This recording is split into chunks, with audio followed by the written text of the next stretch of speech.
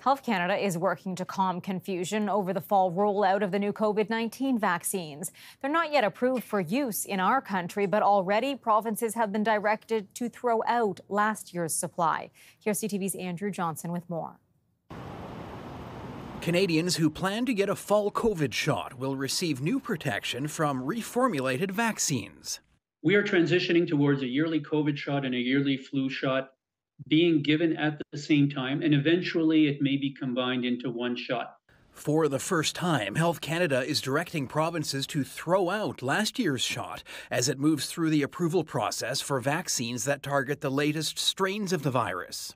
Some doctors and pharmacists have raised concern about confusion among patients during the transition and a possible gap in vaccine availability. Some provinces are following the directive, others are not. Having a message out there that is advising pharmacies and the like to just destroy their vaccine stock, even though it's not expired. That's a little bit how it came out. And I think the messaging was unfortunate. Health Canada says more than four years after the beginning of the pandemic, it's part of the country entering a more routine phase, managing COVID vaccinations, similar to how it rolls out the yearly flu shot. For the vast majority of Canadians, you can wait until the fall to get a vaccine. There's going to be a few individual circumstances where someone may need one before then.